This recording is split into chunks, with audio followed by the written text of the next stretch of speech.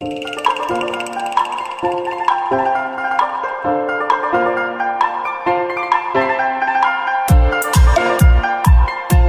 án giờ dây được đầu tư bởi chủ đầu tư HD Demon có vị trí tại ờ, số 8 đường ờ, Lê Đức Thọ, quận Nam Từ Liêm.